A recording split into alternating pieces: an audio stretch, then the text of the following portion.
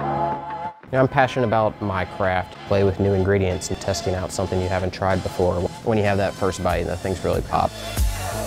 We want everyone to sit down and enjoy a good meal with friends, family, really to share as many items as they can. We feel that that's kind of the best way to really enjoy everything on the menu. It's also what helps us kind of achieve that sense of home. Find great chefs and grocery stores serving fresh, antibiotic-free chicken at springermtn.com.